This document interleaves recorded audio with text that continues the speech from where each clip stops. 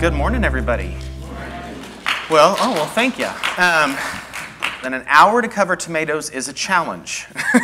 uh, but let me give you a little bit of history as to who we are. Um, again, my name is Patrick Dickinson. Um, did you like the theme of our class? We've got some wonderful new themes this year. I'm with Water University under Texas A&M AgriLife Research. Uh, we have been rebranded, um, and we make up a team of four uh, with some uh, support staff as well, including our communications and our assistant. Um, but we have three horticulturalists on staff, including myself. On the front of your publication that I brought with me today, you'll see my other colleague, Daniel Cunningham, um, who I call the edible guru. Um, he is, if you want, if you're interested in more edibles, he teaches things like urban foraging, uh, the urban orchard, things of that nature that you might be interested as well. Um, and then, of course, we also have just our entire sustainable vegetable gardening class that covers more than just tomatoes. Um, but I am a horticulturalist, an arborist, an irrigator, all these wonderful things I have to keep up with. Um, and I will tell you, I, I do try to cater a lot to the professionals. A lot of y'all may hire professionals to take care of your landscape. Um, I just finished on Friday, uh, Thursday, excuse me, uh, speaking and working with the Dallas Irrigation Association at their expo. And it's become so popular. These professionals want to be sustainable just like you. We had 625 registered just from your area. That is record breaking. We've never seen anything like that. But that is so encouraging to see them want to do the right thing. So, tomatoes. Uh, this is one of about 24 programs that we offer. Most of our other programs are about two hours. I will tell you that one of the programs that I highly recommend that you take in conjunction with this one, if you truly want to be successful with tomatoes, and you're not doing it already, is rainwater harvesting. All right? That is something you should truly consider. Um, so, but tomatoes are fun. And tomatoes are also the number one most popular edible plant to grow in the urban garden. Number one. And this is the part I've heard some people already when they walked in saying, Well, I didn't have success with my tomatoes. I didn't have this. I didn't have that. Well, I don't mean to knock you down a bunch, but maybe I have some notes for you because it's also one of the easiest of the vegetables to grow. We just, miss, we just don't understand the tomato the way we should understand it. So hopefully by the end of this, you will understand the tomato better. All right? That's why we called it catching up on tomatoes. So some of the challenges to gardening uh, in Texas. Um, obviously, one of the biggest ones is the heat uh, and the sunlight. But the great thing about it with tomatoes is they want the sun and they have a minimum sun requirement. Most of our um, fruiting uh, vegetables, fruit, all those, they need the sun in order to bloom to produce. That is important. Um, weeds is something you have to keep up with, especially with tomatoes, because a lot of our pests that go after tomatoes, those weeds can help harbor those pests. Things like stink bugs and things like that. So keeping up your weed control is important, and mulching will help, and I'll cover that. Um, pest, identifying and constantly looking for problems, and then water. All right? One of the things about tomatoes is yes, they do need water because they're producing that nice, juicy, fleshy uh, tomato for you to eat. So they do require water. But how do we do that sustainably? The problem is people aren't consistent with it. And I will cover that in just a second. Selecting your proper location, the best place where you get the most sunlight and accessibility. You know, I love the joke of uh, somebody who came to one of my vegetable gardening classes and they showed me a picture of their vegetable garden, which was getting full sun, but it was on that small, narrow side of their house with a fence, a chain link fence, and they put their corn at the opening where they could get in there. So they had to climb through corn to get to their other vegetables. I was like, I bet you scare the children. It's like children of the corn, you coming out of that corn like that designing what kind of material you want. Are you going to need some vertical space? Do you have climbers like some beans? Uh, even some of your climbing spinach or something of that nature. Water. This is important because everything needs water to, to live. How are you going to deliver that water? What water are you going to use? And then soil. This is one of the most important steps you cannot skip when you're doing any vegetable gardening, especially with tomatoes. Tomatoes require a lot of organic matter and they require loose, nice, fluffy soil. Think of those tender plants that you're buying at the store, right? Do you think that they're going to survive or do very well competing up against our hard clay soil? No. You have to give them an ideal environment to grow in. And then what are you going to grow and what are you going to eat? You know, a lot of people go overboard, especially with things like squash and things that are heavy producers. And they end up trying to bring them up to us at the center. And we're like, we don't need any squash or anything of that nature. The average family can have tomatoes all the way through the growing season successfully with only using three to five plants. That is realistic. Because they are, if you do something like an indeterminate tomato, you will have fruit most of the growing season. I'll cover that here shortly. Um, on uh, certain websites, the great thing about Google is you don't have to know the exact website. All you have to type in is if you want to find any of our information is you just have to type in Aggie Horticulture or AgriLife. Boom. You can open up every website and all the information that we have. This one you can simply type in the AgriLife variety selector. You can choose your tomato, you can choose your vegetable, whatever you want. The area you grow in, obviously, you're going to click on B, and it's going to pull up all these varieties and all these new plants. The thing about it is, in this class, I'm not going to cover every variety of tomato. I may not cover some of the varieties that you're going to see to buy because there's over 600 varieties of tomatoes. I cannot cover all of them. But I selfishly, in these types of programs, get to cover some of my favorites. So that's the ones, those are the ones I will tell you about, the ones that I was most successful with. There we go. And then also, if you type in AgriLife Planting Guide, it will pull up based on your area and recommended planting dates, harvesting dates, all those great things. Now, the one thing I will tell you is, um, and we'll get this to the seed part, is you, if you want to grow your tomatoes and peppers, uh, eggplant, things of that nature from seed, you've got to start planning now. You've got to start ordering, finding your seed, and getting ready because it's getting close. But with tomatoes and peppers, we highly recommend if you can find the tomato and pepper you want, buy the transplant, buy the plant, because you'll have a higher success rate. Not everybody is as successful with growing the seeds as they are transplanting the plant, and that's that little plant you buy. So, here are some varieties that you might want to make note of that um, I love. Um, not just because the plant itself I feel is easier to grow, um, um less dependent on me, but also they produce some wonderful tasting fruit. Um, cherry Grande is one of your smaller cherry type plum tomatoes red cherry. Um, they, they look very similar. They are a little different in size, but they, um, they have some wonderful flavor. You know, a lot of people don't like the smaller tomatoes. Like, I even love the little bitty grape type tomato, those little bitty ones you put in your mouth and they pop. Not a lot of people like that. for my nieces, I have to cut those in half when I put them on salads for them to eat them. Uh, so, to each their own, there's a lot of different ones that you can put. Juliet is a newer, a fairly newer variety of uh, tomato. You actually will see this in the grocery stores more. This is one that was bred for um, a lot of growers that for mass production because of its resistance to a lot of the wilts that we'll cover at the end of the program. And then, of course, who here loves the yellow pear tomatoes? Wonderful flavor. Just all these need is a little salt and pepper, and you're good to go. These are the wonderful uh, flavored, the, the snacking type of tomatoes. And then Sweet 100. This one's been around for a while. Some of y'all may have tried to grow this one. Um, this one actually has kind of a draping type effect. I've grown this in a container before and let it drape over the side of the container. Um, and it was a lot of fun. So that goes into one of our other programs that we call the edible landscape. How to incorporate some of these edibles and your tomatoes into the landscape versus you having a rowed out vegetable garden.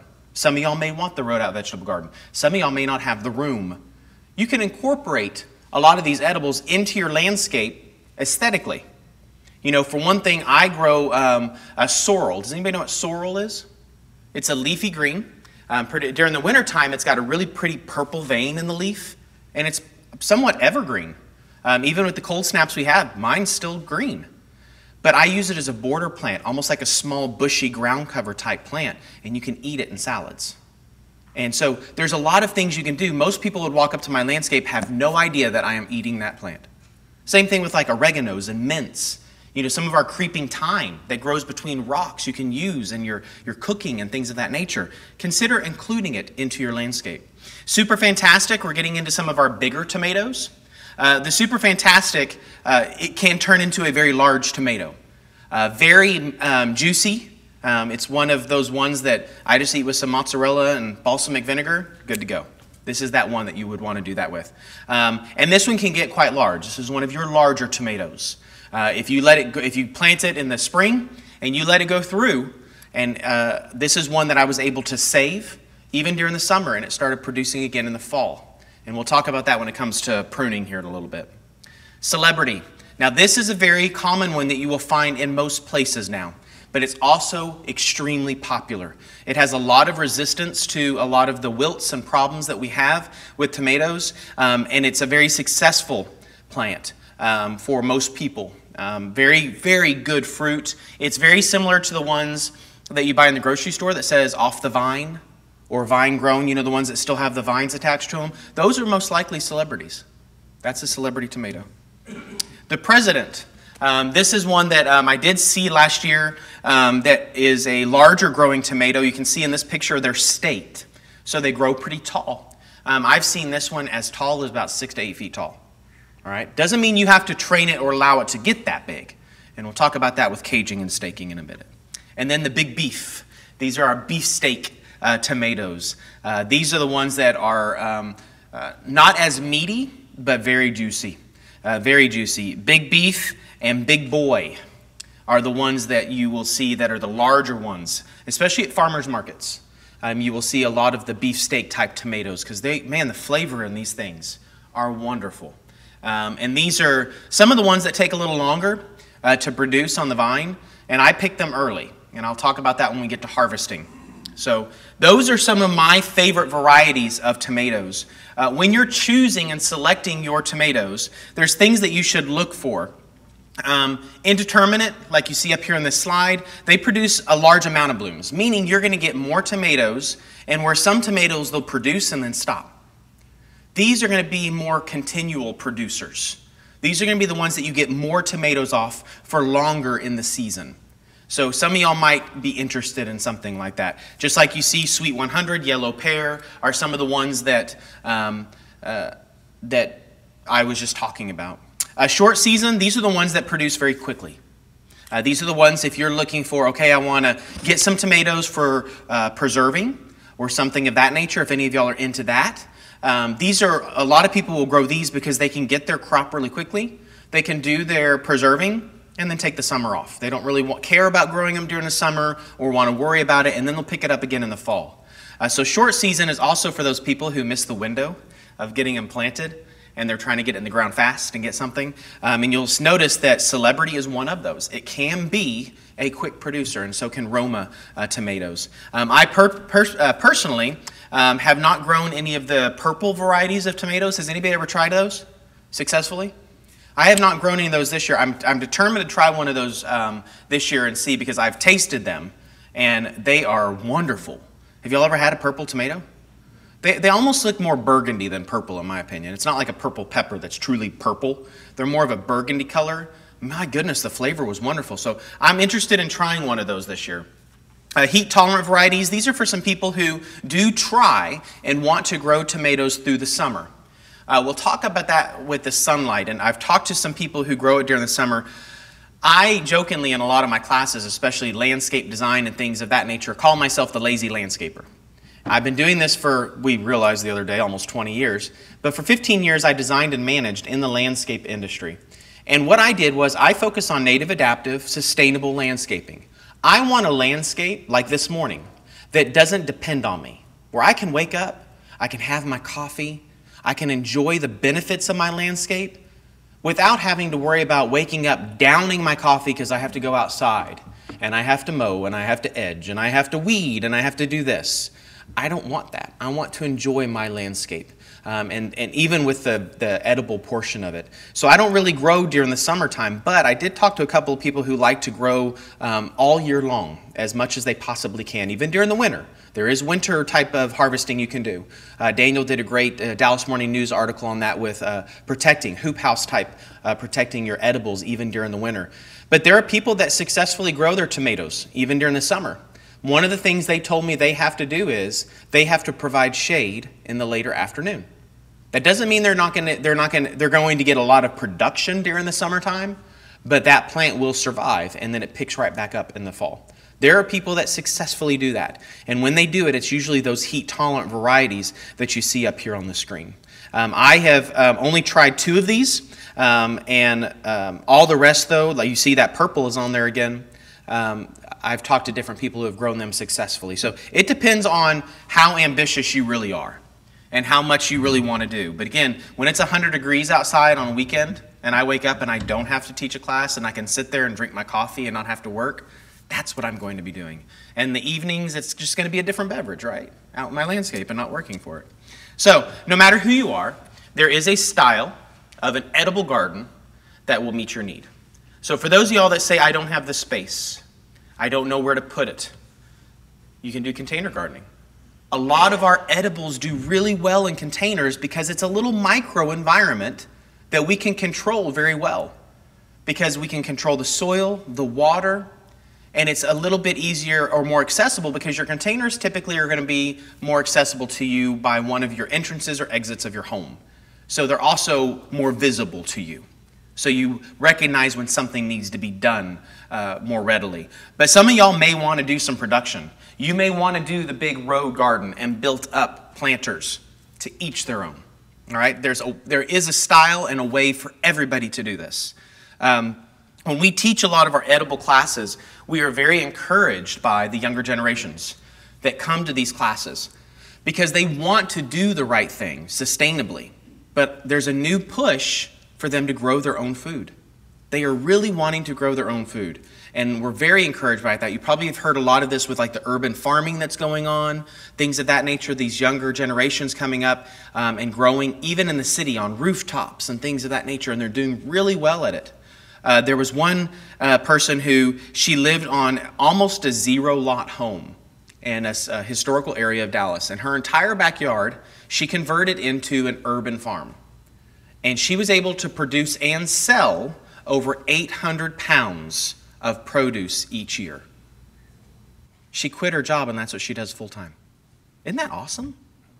I mean, it's being done, and it's necessary with population because farms are being pushed out to build homes and things of that nature. That is what has to happen because we are producing and we are growing rapidly. So we have to find ways to do this. On our campus, we're even doing the research on the urban farming, the vertical farming, hydroponics. We have containers, they're called growtainers. And even um, Central Market has growtainers at some of their locations now where they're growing their microgreens that you're actually buying in the store. They're growing there on site. So there's a lot, it's called zero miles farming. There's no carbon footprint to that food being shipped to you. So let's look, talk about sunlight. Um, when we measure sunlight, when we look at how much sunlight we're going to receive, we measure those hours between 10 a.m. and 6 p.m. Do those hours sound familiar to you? What do we not do between 10 a.m. and 6 p.m.? We don't water. All right, and that's because that's when our ET rate is at its highest, evapotranspiration. Water loss from surfaces, water loss from plants. That's when it's at its highest. And so we measure this at different times of the year. If you look up on the screen, you'll notice at winter, that's when our sun is at its lowest. That's when our days are short, right now, right? And then fall and spring, we're about to tiptoe into that spring where our days get a little longer and the sun starts getting a little higher and warmer. And then obviously in the sun is when summer is when our sun is at its highest and our days are the longest. And that is typically when we measure most of our sunlight. But with tomatoes, especially, we're not always growing them in the summer. So we have to look at that spring and fall. The days are longer, fortunately, but you have to maximize your sunlight. Because most tomatoes are going to require a minimum of six to eight hours of sunlight in order to grow, bloom, which is very important, and produce. If you don't have that spot that gets six to eight hours of sunlight, you need to find a different spot. I've had people say, Well, I grew my tomatoes in three to four hours of sunlight. Well, how many tomatoes did you get? I got about five or six. That's not enough for me. I've had five or six tomatoes in the past few days. All right? So you've got to give them enough sunlight. That sunlight is important for growth. That goes back to basic science of a plant. Plants need what to grow? Sunlight, water, and nutrients. That's what they need to grow. So, and this is one of those plants that needs that. Now, soil. Amending your soil and prepping your soil is very important when it comes to tomatoes. And I will tell you that when you're amending and prepping your soil, your soil needs to be so well amended and prepped. All right? And this is a good rule of thumb I tell people. You should be able, once you get it all prepped and tilled, even in a container, a pot if you want to, to where you can then take and remove the soil, the, the hole for that tomato, by hand. If you're not able to do that by hand or with a small trowel, all right, my mom said, Well, I don't do that because of my arthritis. Okay, a small trowel, fair enough. If you can't do that without struggling to dig a hole to put your tomato in, you're not done. You need to do more amendment.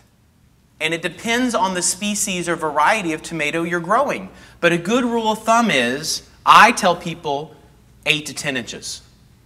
Now, if you're mounding up in their ground, and we'll talk about mounding and rowing, you can achieve that a lot of times above the soil level.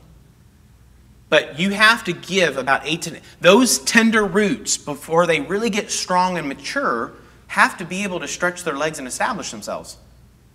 If they're not able to do that and they hit a wall in that clay soil, what do you think might happen to that tomato? It's not going to have the support, it's going to fall. All right? Even with staking and things of that nature, you've got to give it a good. Uh, um, and I will tell you that compost is one of the best amendments for tomatoes because they love organic matter. They love that organic matter. Uh, expanded shale, oh, sorry, expanded shale, leaves, and hay. Yes, those leaves that fell on your landscape, they can stay in your landscape. They can be used in your vegetable garden, both mixed in with the soil and used as mulch around your vegetables. Hay is another thing. My colleague Daniel loves using hay. He can pick it up very inexpensively, it lasts a lot longer, and he can mix that in. That makes your soil nice and fluffy. But you do have to mix it in, you have to introduce it to other soil, our native soil. You can't just do compost and leaves and hay. That might work for a short time, but you've got to put other soil in there, our native soil. Right? I know that sound you're going, I have to work with that clay. Yeah, that's what we've got to work with. All right, that is our soil, and you can do it, but you've got to loosen up that soil. You've got to introduce it.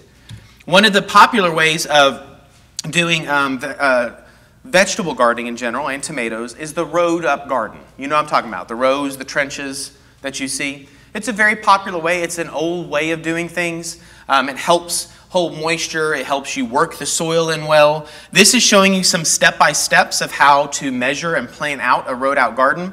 Um, tomatoes get large. You need to be able to access the tomatoes and get in between them. So, a good rule of thumb of spacing from rows, from tomato to tomato in a row, is about four feet. Now, how far apart you space them in a row is dependent on the species. All right? Because you can put them closer together. If that tomato says it's going to get four feet wide, you need to be spacing those tomatoes about four to five feet apart. By center to center. Do you know what on center is? Okay. Imagine an imaginary dot in the middle of that plant and you're measuring from the centers, not from the edge of the plant. That wouldn't make a lot of sense with the plant growing. So you actually do need to measure. And I use stakes and then I use twine, and you can see here where I measured out where my rows are going to be. And from there, I can work the soil, introducing my compost, kind of like my little figure guy doing, and introduce the compost and things like that into my soil. And it does take some labor especially when you get first do this. If you are establishing a vegetable garden for the first time, it takes a little bit of work to get it established. From there, those of y'all that have a vegetable garden know, it's just light amending after that. All right, it doesn't it doesn't take as much work, but you do have that initial time and energy and labor investment. But look how nice and rich and rowed out that is. And this is what, when we talk about rowed out gardens, this is what it is. Your rowed out garden has the ridges and furrows, just similar to what you would see in our uh, geography. The furrows is where a lot of the water can accumulate to help hold moisture at the plant, where the roots, where the plant needs it, not at the leaves. And the ridge is the little hill, the little mountain that that plant is going to grow on and stay on.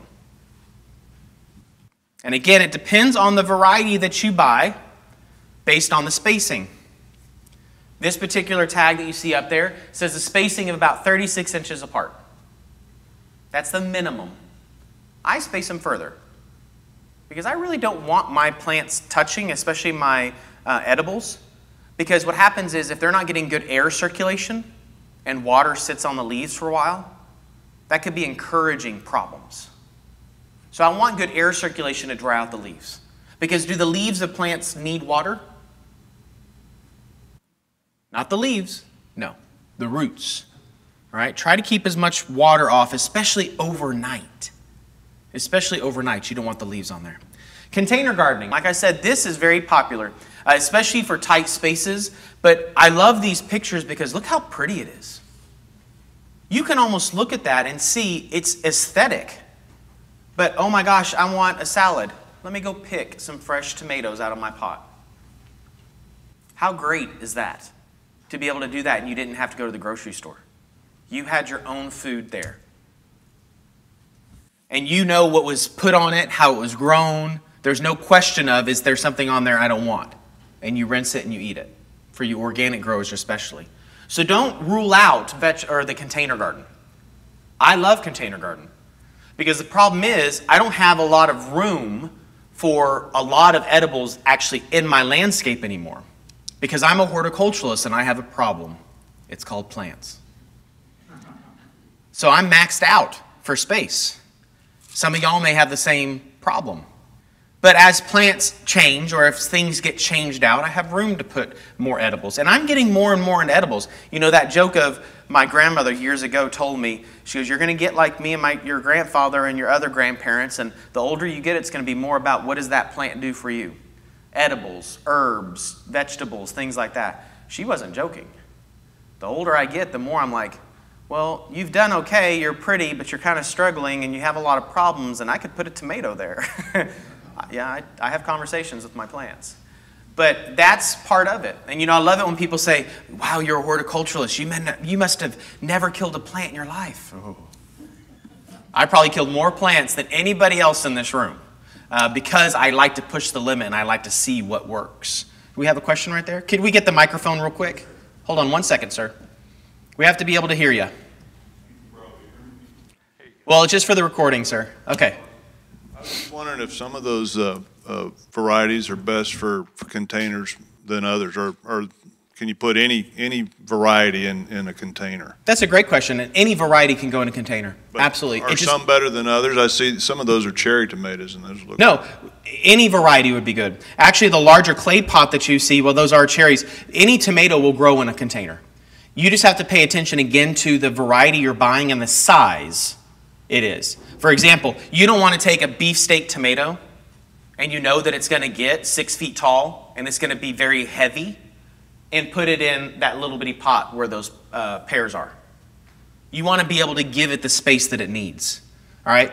There's not really a rule of thumb on the size container that it needs. What I would recommend is it tells you about spacing. Follow that rule of if it's going to get really large, you're probably going to need about an 18 inch size pot for a large tomato.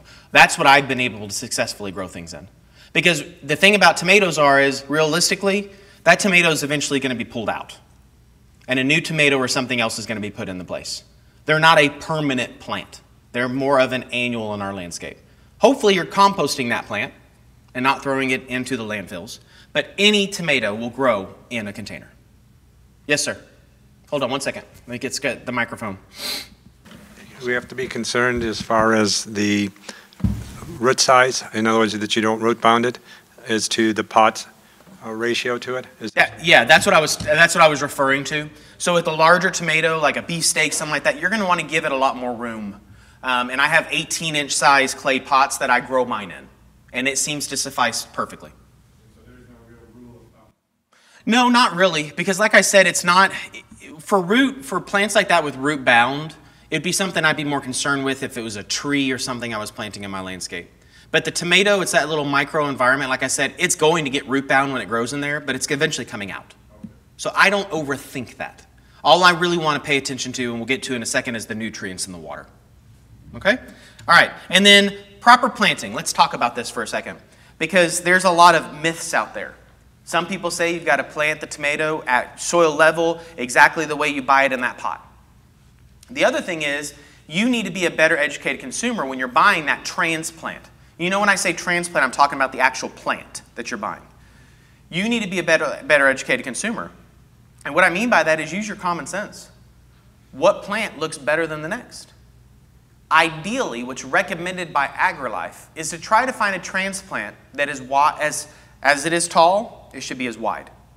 So if you're buying a tomato and you find one that's, say, about four inches tall, ideally, you would want it also to be about four inches wide. That means that plant is not stretched out. It's not overgrown or um, uh, overstayed its, um, in that container. So you see in this picture tomatoes that have probably been in the pots for too long, which is not a bad thing. But what I like to do with tomatoes is I like to plant them deeper. Now this goes against everything else that we teach in landscape with the proper planting and things like that. Tomatoes are a little different. But if you notice in this picture on the plant A, it's a healthy plant, but it's below soil level. Do you see that? It's actually buried about a quarter of the height of the plant into the soil. What we did is we picked off this lower stems and we planted it lower. Do you know why we would do that?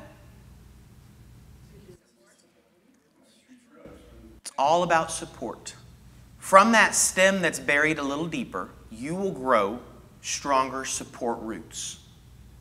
That tomato will be anchored in the ground better. Tomatoes that are planted at soil level tend to be very top heavy because they're going to be weighed down. They're going to get heavy, not just with the growth of the plant, but also the tomatoes. And the other side to it is uh, you've seen people where they go in and they grow, find these tomatoes in these little four inch pots, and the tomato's like a foot tall. Well, that tomato's been in that container for too long, probably. There's probably a lot of roots also. And sometimes you've seen them where they slide them out and the tomatoes have kind of grown towards the sun. So they're arched like you see in here. Well, you don't want to plant them where they're growing at an angle. You want the top of the plant, when you plant it, sitting straight up in the soil. Yes, you can bury that part of the plant to allow that tomato then, to start growing vertical. You want your tomato growing perpendicular to the soil. Do you understand that? We're going back to the geography you thought you'd never use again. Perpendicular to the soil. Not like this. Just because the stem is growing straight out of the pot, you need to pay attention to the top of the tomato. All right? Now, where that stem goes in the soil, you want to remove the leaves that are going to be under. You don't want those leaves to de start decomposing and breaking down around your stem because that could help rot out the part of the tomato you buried. So you want to simply pop off without damaging the stem, the tomato. Some people will cut them. I just like to kind of tear them off without damaging the stem. But that is okay to do. Some people will go as far as using a rule of thumb and say you need to bury the, the first third of the plant. All right? A good rule of thumb is about a quarter to a third. They're not that far apart from each other. You don't literally need to take a tape measure out there to, to figure it out, okay? But you'll see here what I'm talking about. Remove the lower stems, put the tomato down in the ground. Look how nice and soft that soil is.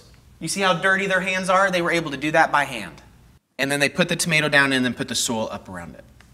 All right, caging and staking your tomatoes. You'll notice that on the picture on the right, it's a younger tomato with a cage around it. There's a lot, if you get on Pinterest or Google and you Google caging tomatoes, you will be overwhelmed. It doesn't have to be a metal cage. If you don't like the way the metal cages look, people build their own cages out of wood to make it look nice. I saw one person use an old wooden ladder. They painted it, they grew, and they put their tomato, caged it into where it grew up into the ladder. It looked really cool. There's all different ways to do it. The benefit of caging your tomatoes is it helps keep tomatoes off the ground as they're ripening, right? Which is not always a bad thing, but it's better for the quality of the plant. It also helps support the plant. Because, like I said, they're going to be very heavy. It's like you walking around like those old pictures of a pole on your back with two water buckets on either side. And you have to walk around like that for three months until somebody wants the water. That's kind of what the tomato does. You're supporting it. And then the store-bought cages like you see on the left, you can do, the, key, the thing you need to remember to do is the cage needs to go on around that tomato right after you plant it. Tomatoes grow fast. And if you forget to put the cage on and you go out there and try to put the cage on after that tomato's already too large, it's not going to work. Don't forget that step. Otherwise, then you're going to be like some other people I know where they're staking up with rope and things like that, trying to keep their tomato from falling over. All right? Don't do that. Think of the cage as it giving your tomato a nice hug And then staking your tomatoes, um, a lot of producers or farmers of tomatoes stake their tomatoes. And the reason they do that is because they can get them to grow taller in tighter spaces. And the, some of those other tomatoes produce, they leave the tomatoes on longer. So they remove other stems to produce those big. Has anybody bought those beef steaks that are huge? You know what I'm talking about?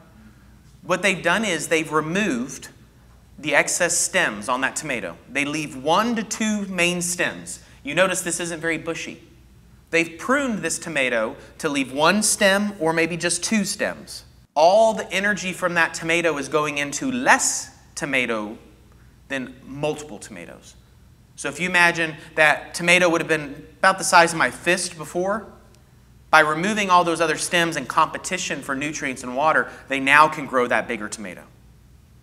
All right? Some people like to do that. Some people will do both. Some people say, okay, I'm going to grow five plants. I'm going to stake one plant to grow really big tomatoes. And then all my others I'm going to cage and I'm going to have produ- you know, production for most of the season. So to each their own. Just keep in mind how tender those tomato plants are. You don't want to use wire you don't want to use anything like that to tie that tomato to the stake. Some people use pantyhose, all right? That, I don't think pantyhose is something that everybody buys as much anymore.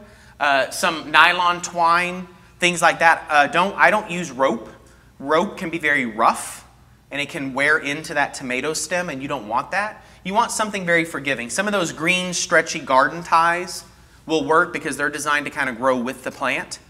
But don't tie it too tight because that plant, again, continues to grow. All you're doing is giving some added support. You're not trying to give it a crutch. Water. How are you going to provide water to your tomatoes? Are you simply going to use municipal water? That's okay. That's what you're paying for, right? Have you thought about how you're going to deliver that water? Are you going to hand water all the time? Or have you thought about using some things like drip irrigation? Micro drip irrigation can even be run, oh, you can barely see that one, sorry, can even be run off of rain barrels. Here's the benefit of rain barrels. I'm going to sell rainwater harvesting to you. Rainwater harvesting, the quality of the water versus our city water, all right, is very different. Rainwater harvesting is actually our rainwater is slightly acidic. It sits at about 6.5. What are, are tomatoes alkaline or acidic? So which water do you think they prefer? Any plant prefers rainwater. It doesn't have that salt and calcium and lime, that white crusty buildup you get in our tap water, which we filter in water, make it safe for us. That doesn't mean that plants always like it. So let's keep the tap water for us and use our rainwater for the plants. They also doesn't have all those other you know, additives that we put in our water to make it safe for us to drink the chlorine, things like that, that we need to purify that water to make it safe for us. Plants are a lot more simplistic. Our bodies are very more complex. We can filter all those things. Plants cannot. Rainwater, AC condensate are all better for tomatoes or eh, any of your plants, especially edibles. You should truly consider it. One rain barrel, if you just want the barrel just for your tomatoes, because I'm selling tomatoes today, right? If you want it just for your tomatoes, one barrel will successfully get you through the season. You don't need to have like some of the horror pictures you've seen of rain barrels um, across the news and things like that. We're the people that try to educate you to do it safely and properly to where it doesn't harm the rest of your family or your community. The other thing is, Thursday I told you I, was, I spoke to a lot of professionals at the Dallas Irrigation Expo. I was the keynote. And I'm trying to teach people to quit looking at watering their foundation, their trees, their lawn, their landscape, their tomatoes, all separately. You know, some of y'all, I know during the, during the big drought we had in 2014, when you were only were able to water once every other week, I don't mean to bring up bad memories. You were struggling as to how do I water my foundation? What about my trees? What about my lawn? Things of that nature. Well, rainwater harvesting is a good way to supplement that problem but we want you to quit looking at them as individual pieces. Look at the bigger picture, the holistic view of your entire property. We want you to maintain soil moisture around your property. That will mitigate all those problems. We're going to remove you having to think about each one of those things individually. You can take care of all of that by maintaining soil moisture. And the soil moisture meter, if you look at the top, it says dry, moist, and wet. It's as simple as that. Obviously, you don't want to be in the dry and you don't want to be in the saturated wet, which you will be after a rainfall. You want to wait a little while after a rainfall. You want to keep the soil moist. This is very important for tomatoes because a lot of the problems people get with tomatoes is from lack of consistent moisture to the plant, where they let it dry out and then they add water. Some of y'all may have this problems where you're like, well, I grew all my tomatoes, but they all cracked.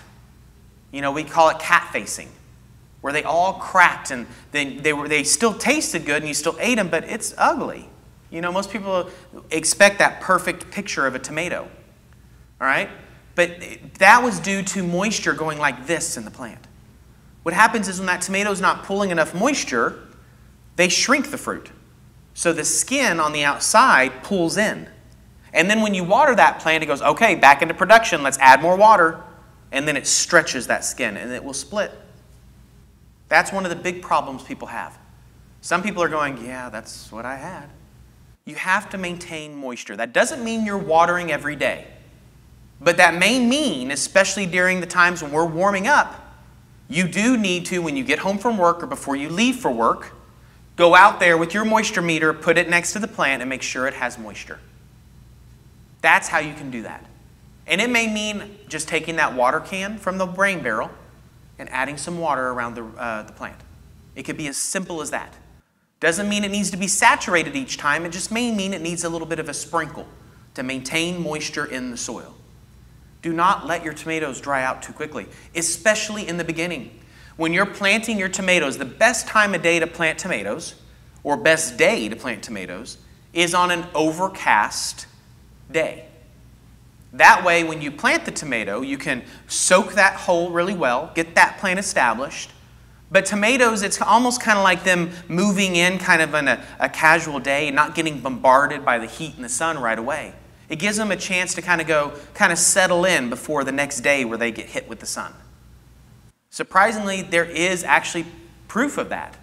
Overcast, nice days is a good time to plant tomatoes. I've also found when I'm not going to have that overcast day, just early in the morning. Set that coffee pot to go off earlier. It can be something as simple as that. But maintain the moisture. That can remedy a lot of the problems some of y'all have experienced.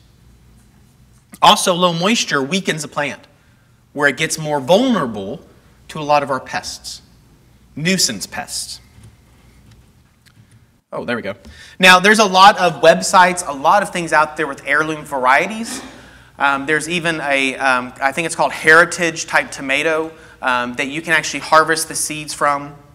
If you want plants, like some people like to grow their tomatoes uh, peppers, things like that, they like to harvest the seed to use for the next year. A lot of our new improved varieties, you cannot harvest the seed. That seed is not going to be what's called true to type. You're going to harvest the seed, and the next year when you plant the seed, you're going to get something different. So you have to buy the transplants, like celebrity, things like that. But a lot of our heirloom varieties, the seeds are true to type.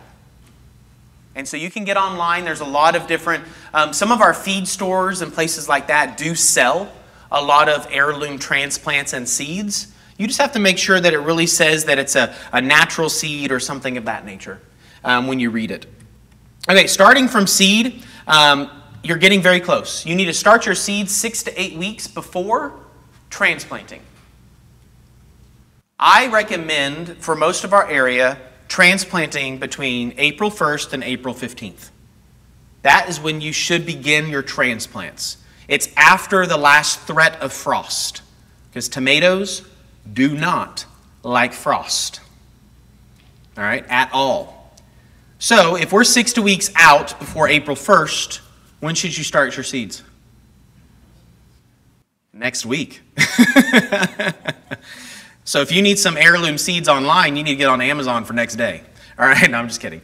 But realistically, you're talking uh, by 1st of February, mid February, you should have those seeds started. You start those seeds inside. You can buy trays to plant them in, put them in a window. A lot of people use grow lights to get their seeds started. Um, you can do it successfully um, inside a window. Some people have greenhouses or hothouses. Learn from my mistakes. Label your seeds when you plant them in your trays. I don't. Like, I can't tell you how many pictures we'll get from people and say, "Well, can you tell me what this is?" No, it's still a seedling. There's no way for me to tell that. Um, but uh, even we've even teach uh, taught kids how to use old paper cups. You know, providing uh, drainage holes at the bottom, and then you can plant them with the pots. You don't disturb the soil. There's planted pots. You can do that. A lot of different things you can do. Um, read the label. You know, this is where it's a you again being a better educated consumer. I wish I could go over every 600 you know, varieties of tomatoes. No, I really don't want to. But it will tell you typically based on germination rate, which usually this, you should start see seedlings within the first week, it will tell you how long until transplanting. Remember I said six to eight weeks. So if you find a variety that says eight weeks, you have to start next week. Six weeks, you still have a couple of weeks you can wait. All right? You need to read the label. That information is not on that seed packet or that plant tag just for the thrill of it. Scientists and researchers have done that breeders have put that information and tested that for you. So read it, understand it. It even talks about your area. Look, on this one right here, you can see where it says March to May is in the red. That's transplanting. Yes, sir. Hold on, let's get the microphone. Hold on. Just a little confusion here. Up there on the picture, it says tomato, red cherry, large fruited. Now, to me, red cherry is a small tomato. I don't understand the large fruited. It's well, it's uh, it's actually considered medium. So we have there's different le- levels of tomatoes, and it goes from like plum to large to beefsteak. Beefsteak is the large one you're thinking of. So cherries are still considered a larger tomato because some of our cherry tomatoes they can be smaller cherry tomatoes. Some of our cherry tomatoes can be this big, which is pretty large. That'd, so, be, a big, that'd be a big cherry. Yes. so that's what I'm saying. Every specific species and variety is different 600. So you do need to read the package. You need to do a little bit of research to find out what you really want to plant. The purple type of tomatoes I want to plant are the smaller cherry purples. They're smaller and then there's some of the bigger ones. All right, so there's all different types. If you get on some of these websites for some of these heirlooms, they have tomatoes that are striped, yellow and red. Haven't tasted them yet. Might give them a try, see what they taste like. You know, that's the thrill of it. You know, with gardening, you, you know, we try to give you the basic information. If we could walk you through, hold your hand, show you, and problem solve in your garden with you, we would do it. But we're trying to give you that basic information. Most of y'all in this room know that gardening and landscaping is trial and error. You're going to fail and you're going to succeed. What your percentage is, is how much you pay attention and how much time you spend in it. All right. When I plant my vegetables, I buy a granular fertilizer and I mix that in with the soil when I plant the plant. And then with tomatoes especially, you need to start fertilizing as soon as you start see the first fruit. As soon as you start seeing that first little tomato on that plant, you need to start fertilizing. And you're going to be fertilizing every 7 to 10 days because that tomato needs primarily phosphorus in order to bloom and produce that tomato. They don't need as much nitrogen. You know the numbers that we have on our fertilizer bags? Nitrogen, phosphorus, potassium. Those are the three numbers. Most tomato fertilizers, you don't want a high nitrogen number because when you encourage a lot of growth, they don't bloom and you're not going to produce. That is a big mistake a lot of people do is they just put any type of fertilizer on their tomatoes and the tomatoes grow beautifully, but they never produce. And it's because the plant is putting all of its energy into growing and not producing.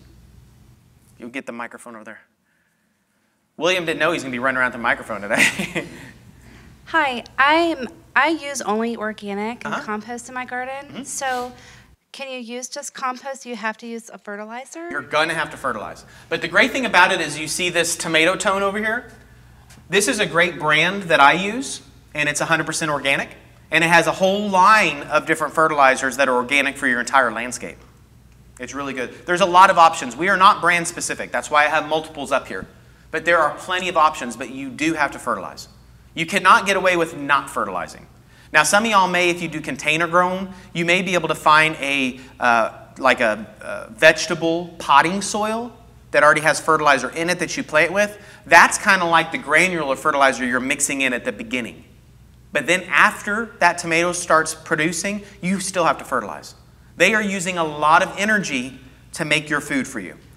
And if you're not giving them that energy, it's not going to be successful. So, put it on your calendar. I know people that will put reminders on their calendar of, okay, Saturday morning, I'm going to go and fertilize my tomatoes. All right? So, you can do that, but you're going to have to fertilize it, organic or not. You're going to have to fertilize. Harvesting, when do you harvest? Well, there's two ways of harvesting. And a lot of people say, well, I just don't know when to harvest. All right? Well, we have a way to fix that. Number one, you know what the tomatoes look like that you're growing because you got a picture, right? Or you can find a picture on the internet. You know what it looks like in the grocery store. You know what a mature tomato looks like. That goes back to that common sense. I can't explain that to you. You just have to know that part. But for those of y'all that really just don't know exactly when, as soon as a tomato starts putting on some of its color, like you see in that picture on the right, as soon as it starts putting on a little bit of color, that tomato can be harvested. And then you can take it inside and put it in a window or something like that and let it mature on the inside of your home. A lot of people that will do fall tomatoes, they'll push that plant and then, oh my goodness, we're about to have our first frost. They will go out and harvest as many of the tomatoes as they can and bring them inside and let them mature. As soon as that tomato starts changing colors, it can be harvested. It doesn't matter. It will taste the same and do the same thing. It has finished growing. Now it's just ripening, and it can be ripened inside. It will taste the same as the one on the left that was allowed on there. The other benefit to harvesting early when it's changing colors is if that tomato looks nice and beautiful like that, and you pick it and bring it inside, you're going to avoid a lot of the pests that want it like the possums and raccoons and the birds and the stink bugs and things like that, that are going to try to go after that ripe fruit before you get to it. The birds have been a problem in my yard. All right? So that's one of the things. They won't go after it like that typically. But if you pull it when it's like that, you can take it inside before they get to it and allow it to ripen beautifully in your window or in a bowl or something like that. So that's one of the things. People tend to leave it on the plant too long because they think, oh, it's not red enough it's not red enough. Next thing they know, they go out there and they're like, there's worms on my tomato. Well, they like the ripe tomato just as much as we do. But we can beat them to the punch by harvesting it a little early. Hold on one second. Bring in the mic. Bring in the mic. It's like a talk show, William. Welcome. so you said the uh, once it gets to that that color on the right. So it's first as soon turning, as it starts showing it's any not going to get any bigger. Right. So we're not going to sit and wait for it to get bigger. It's it's as big as it's going to get. Yes. Okay. And it will taste and produce be, be just as good as if you waited for it to turn red. You're not you're not stunting it. You're not doing anything wrong by harvesting it that color. As soon like even if you have a yellow or for me a purple tomato, as soon as it starts showing a sign of that color, you're ready to go. And what's happening is that means the seeds that are on the inside of the tomato are mature. And now the fruit, the meat around those seeds that the seeds will then feed off of, that's the whole point is this is how the plant reproduces, remember? That it's maturing for those seeds to feed off of. So you're not causing any problems by harvesting at this point. This is how I harvest my tomatoes. I will not let them turn red on the vine. Now, there's sometimes that I miss them. The great thing about it is when I'm out in my landscape, it's a nice surprise. I pick it off and eat it right then, especially the little cherry tomatoes, right? Kind of like uh, there's something to be said about for you, anybody else that does vegetable growing, when you're growing your own food, it tastes night and day difference directly off the plant than even if you harvest it and, um, and bring it inside. And not tomatoes are a little different, but for example, I love using asparagus. Anybody grow asparagus in here like me? Oh my gosh. Who loves asparagus? You need to grow asparagus. Asparagus is a perennial. You do not have to replant it. It gets bigger and better every year. And the great thing about it is you should taste, and you take this, harvest the asparagus, it's the new shoots that come out of the ground off the plant. You harvest those and you take them inside and you eat them. When you taste asparagus fresh off the plant, it is night and day difference versus bringing it inside, cooking it, or putting it in the refrigerator. It is night and day difference. Anyways, I'm, I'm gonna get on a tangent. The other thing is, do, try not to, if you're growing your own tomatoes at home, try not to refrigerate them. If you're doing it for preserving and things of that nature, it's a little different. Do not refrigerate your tomatoes, especially when you're trying to get them to ripen. That is something that people do wrong. If you notice at the grocery store, are the tomatoes refrigerated? You should not refrigerate your tomatoes. I don't care what anybody says. I am against refrigerating tomatoes. I stand firm on that. Now, before I get into some problem solving, if it's okay with y'all, I'm going to run about five minutes over. Um, it's right about the, on the hour right now. Have y'all ever heard this old saying? The best fertilizer is the gardener's shadow. I'm amazed at how many people have not heard this. I grew up with this saying, and I'm born and raised here. Um, I grew up with this. What this means is if you want to be successful at any of this, whether it be growing tomatoes or vegetable gardening or even landscaping in your own yard, you have to be present. You have to know and see if there is a problem. If you're coming and sitting through an hour of listening to me blab and get excited and all about tomatoes, and you go home and you're not present, you plant that tomato and walk inside and don't check it until next weekend, all right, then you're not going to be successful. This also is a big draw to get people outside and be involved. You have to be present to find problems um, and see if there is. Some of the things you can do um, is mulching around all of your edibles, especially tomatoes. It helps hold moisture. Old leaves can be um, a good way. The other thing is it helps control weeds. Weeds are competition against your plants for moisture and nutrients. They also harbor a lot of the pests that we don't want. Keep all the weeds away from your tomatoes. And if you're present, weed pulling is not a big deal. You typically see when that little baby's coming and you just pinch it out. Easy breezy done. Um, straw, like you've seen here, like I showed you that my colleague Daniel likes to use. Um, pine needles is another thing that Daniel likes to use uh, for a little bit of acidity. Uh, and it, look how clean and beautiful it is. No weeds, easy access. So mulch, this is a good rule of thumb across your entire landscape not just the vegetable garden. Uh, you can see in here they have access, but look, all the weeds are on the outside of the fence, none on the inside. Mulch smothers them. All right, let's cover a line of pests. All right, problem solving is what we're going to end with to help you. Um, here's the thing about tomatoes. I told you that these are the most popular, they're also the easiest. A lot of these problems that we experience within tomatoes can be avoided with proper maintenance, with things like mulch, maintaining moisture in the soil, mitigates a lot of those problems. Now, there's some things that we cannot help, and I'll get to some of the uh, diseases here in a second. Aphids and spider mites are a big problem across our entire landscape. They've been a big problem the past few years because we've had very mild winters, but they're easy to control. There are safe to use um, insecticidal oils and insecticidal soaps, even for you organic growers out there that you can spray on your plants that will not hurt you or affect your edibles. But here's the problem people don't tend to spray them properly, and they come back. You know where most of these insects reside? Under the leaf. If you're spraying the top part of the leaf, you're just spraying their umbrella. They're not going to get it. All right? You have to spray under the leaf and get that plant. Some of y'all may have some of those hose-end sprayers to spray things with. Those are great because they have pressure.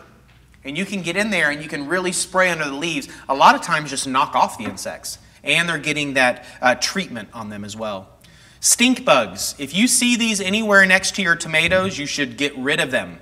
A lot of our bigger insects like this can be easily removed mechanically, taken off and removed. These are one of them. These are the guys that you can see what they're doing to that tomato they make it just unsightly and ugly, and the tomato just never really produces properly.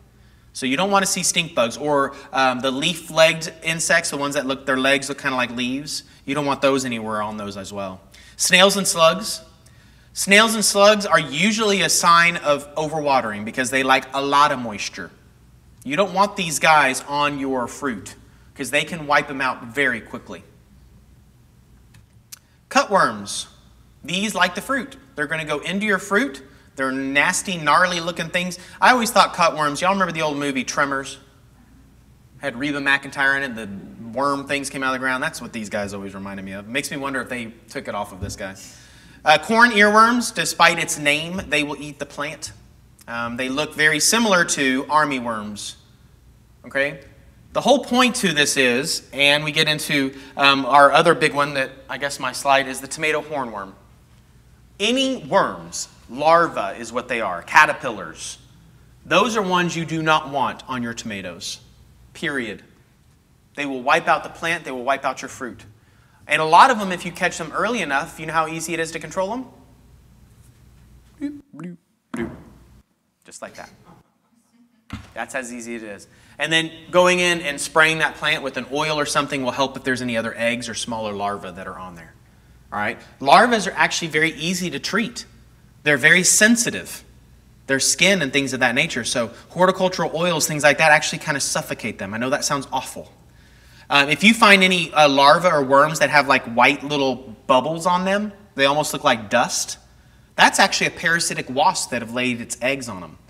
You might let that guy go because those wasps hatch very quickly and then they'll go after all the other larvae.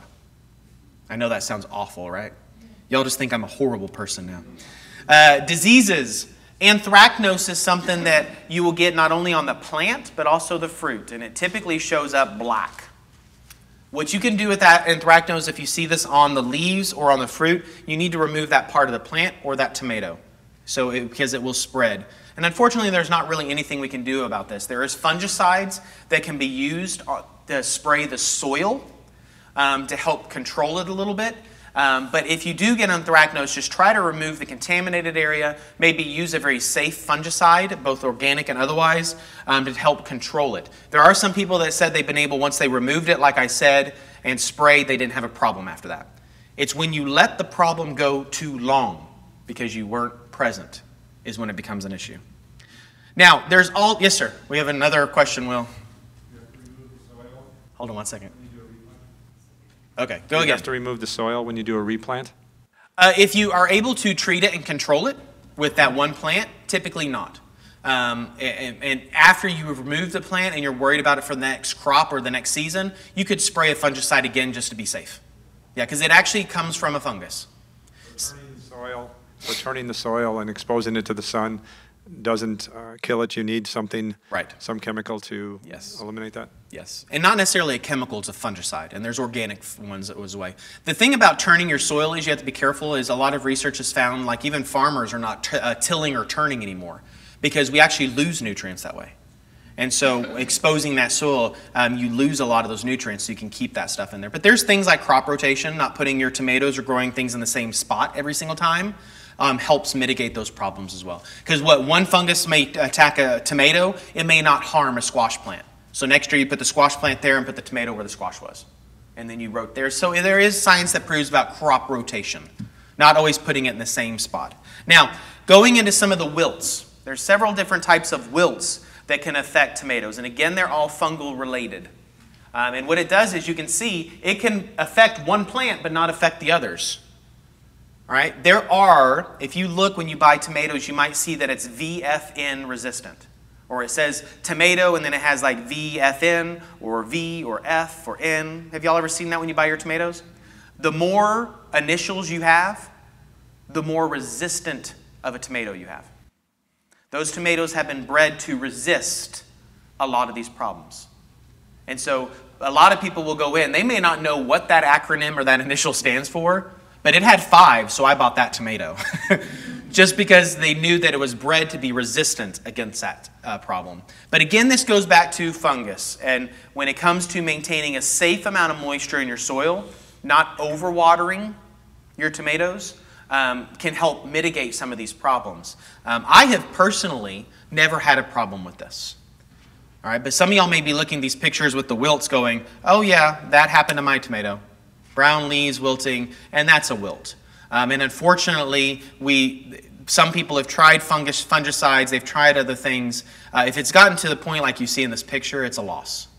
If it were me, I would remove that tomato to keep it away from the healthy tomatoes and just count my losses. That's the, the part of it. But buying a tomato that has those initials, VFN, like I brought with me in case anybody wanted to know what the initials stand for. These are all the initials that you can buy that are acronyms next to your tomato and what it stands for. For example, it has the V, resistant to verticillium, and I can never say it, verticillium wilt, right there. It's on there. We have another question down here. When you said that they're bred to do that, are they genetically modified to do that, or are they, was it Both. both? Yes. It, it'll probably say hybrid. And a lot of time it's done through just breeding, and sometimes they can be. Now, hold on. Let me answer that. No, that does not mean the same thing. You're talking about GMOs, and you're not going to be buying GMO plants for your, your. That's typically for larger production. and that's a whole separate topic altogether. You're buying bred plants, hybrid plants. Very different, very different. Yes, that's a great question, and I didn't catch that right away. Yes, William. I have a question. Do these letters compromise taste at all? No, not at all. All it's doing is it's basically as if we have a, th- those of us that got the flu vaccination. It's just helping us be more resistant to the problems that are going around. That's all it is. Now, notice that I'm saying resistant and not saying that it's, uh, it won't get it. Okay, there's still resistant varieties that can get some form of it or some level of it. So resistance doesn't mean it won't ever get it.